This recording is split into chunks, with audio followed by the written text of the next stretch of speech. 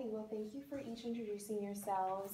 Um, why don't we go ahead and get started on what's bringing you in today? Patty, I know you first called, so would you like to start off for us here? Um, I came here and brought my daughter and my wife. Um, we're just having a lot of tension lately. Um, Sky is 17 and soon she'll be going off to college and just she knows she's getting more freedom and rebelling a little bit. I feel more so too my partner Leslie. Compared to me, um, I work most of the time and Leslie stays home, so yeah. She stays home, and what's been kind of the issue going on lately? Um, it's more like rebellion, I guess. Like I understand she's she feels a sense of freedom. She's almost 18 and more controlling Mm-hmm. of the parents. So. Leslie, do you want to tell me about that? How you view yourself in this family, and how you view yourself, how the family's going recently?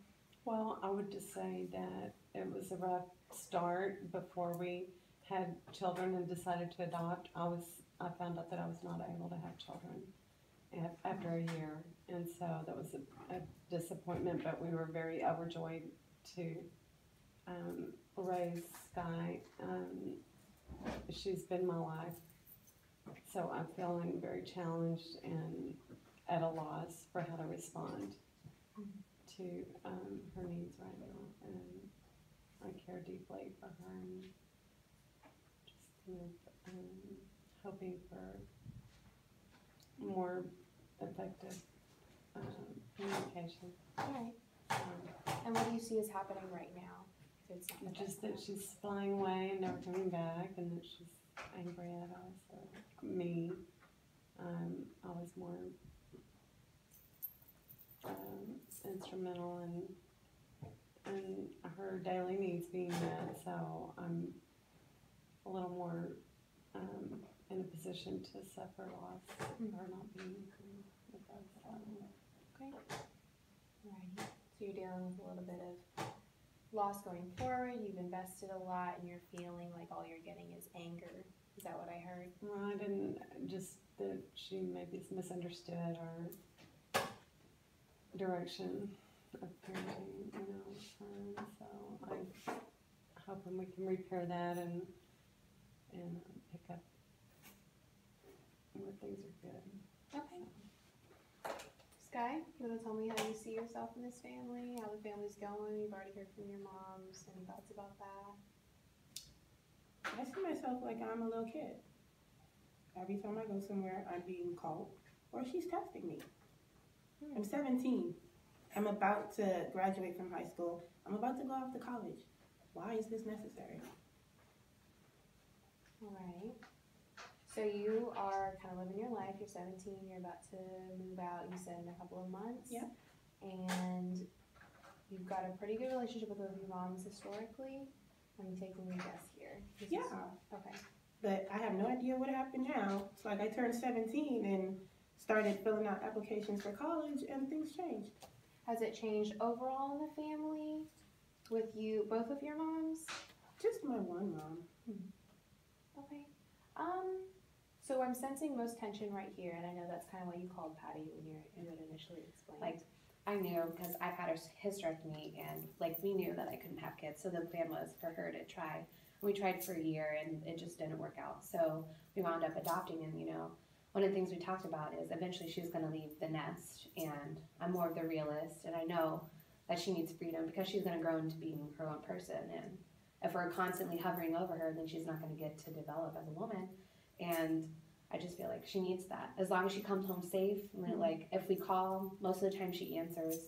I mean, she does typical teenager stuff, like so. To me, I just want to solve it so we Hmm. can keep a healthy dynamic because she's my baby and she's going to go to college, and I want her to know that we're a safe place for her to come home. Right. Right, and I think that's a good goal. Um, and it sounds like you guys both share that, wanting to be a safe place for your daughter. Um, I do want to take a moment here, and Sky, you're still part of this discussion, so feel free to share anything, any of your thoughts or feelings as we go forward. I do want to ask the two of you a couple more questions, though. Um, what I heard um, is that because what we look at here when we're looking at the family, I want to look back at the history too. You guys start, uh, talked about when you started um, wanting to have a baby, you already were aware, is that right, that you weren't going to have your own? But you wanted, Leslie, you wanted to carry your own child into this family. Mhm. Okay, so, um, when did you have the hysterectomy? Was this, at this Oh, point? Before Leslie and I ever even met. Okay, so you'd already, you knew you weren't Mhm. gonna carry your own child, okay.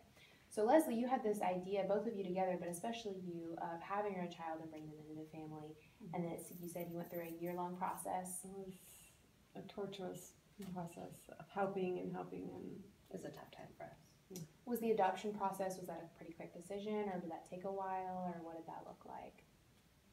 it was pretty quick. We went and found her. And Okay. she needed so. Okay. So, so, got it. Um, I do wanna introduce the idea that perhaps going forward, this might be a little bit more difficult and it's hard hitting, especially for you, because as you mentioned, and as we already stated, you've invested a lot into this relationship and you've invested a lot into your daughter. Not any more or less than you have Patty, um, but especially having experienced that loss and just something to be aware of going forward, maybe having, having not been able to grieve there. Um, this might be a, to use the term double whammy for you.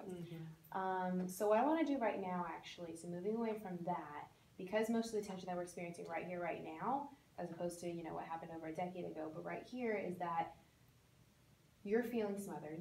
Yeah. And you're gonna have an empty nest soon. Yeah.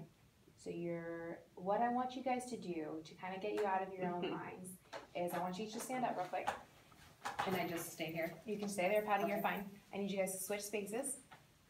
This might make you a little uncomfortable, but that's probably why we're here, for growth. All right, you are now Sky. And you are now Leslie. And so, Sky, I want you to tell me how you've been feeling the past couple of weeks. Um, I just feel like you don't trust me anymore. And I have tried all through the years to show you that I care about your um, guidance and that I've tried to do the right thing. But I need some space. And I need you to trust me. And it's really making me crazy that you don't. Okay. And I want you to respond to how you might as Leslie. You're getting ready to leave. What if you don't come back? You're the only thing that I know that makes me feel like a mom. I've had you since you were two. Well, I'm, I'm my own person now. So I encourage you to find another way to be a person that matters. Do you have any ideas about how you might be another person like that? No, Are you she's, sure? she's all I've known. Do you have any ideas for it? Just that, you know, I know you have interest and you have your crafts and your sewing and it just sits there and you haven't really made, you know, the things that you wanted to make and you have all the supplies. You have a sewing room full of things. Mm-hmm. And you could sell things on eBay and I'm not, I don't want you to think I'm mad at you, but it's just hard to fly, you know, with you holding me so tight. And I want you to find the things that you wanted to do all along too. Alright, so I wanna pause right there, I think that was really good, you guys did a great job stepping out of your own box. We can switch back, you guys can stand back up. And now Sky, you're now Sky again, welcome back. And Leslie, um, I wanna first say, you know, I heard a little bit from you about, well, from Sky. Um, but I heard a little bit from you that you had a couple of other projects that you wanted to work on, did you I mention do some sewing? sewing and Mhm. art and crochet and, and knitting Mhm. and things. I've always been interested in that, but it's pretty much just, um, became a, a, um, craft manga. Okay. And I don't really, you know, produced anything. So I want to come back to that later. I want to make sure I don't misuse Guy in saying it did sound like you were able to cross over a little bit. And by that I mean you were kind of in your mom's shoes. You were realizing you, as her daughter, in, you have kind of been her life um, since you were two. Uh, but you do know you're moving on right now. Yeah, You're ready for it. right.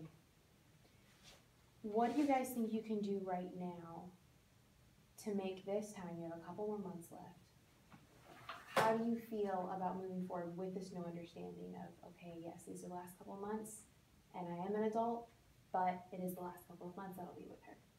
And Leslie, okay, it's the last couple of months, but she's an adult. Is there anything you can do intentionally that maybe you and Patty can talk about ways that the three of you can spend time together? Uh, we could go and when she's enrolled um, in, in her dorm, we could go and help her decorate. That sounds like a good idea.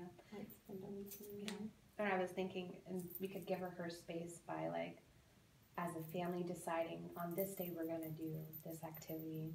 And I feel like that would build our relationships instead of just constantly being after her whenever she's doing, off doing her own thing. Mm-hmm. Because if we're on her all the time, then she's really not gonna wanna look for that. And if we give her some space, then she'll want that before she leaves.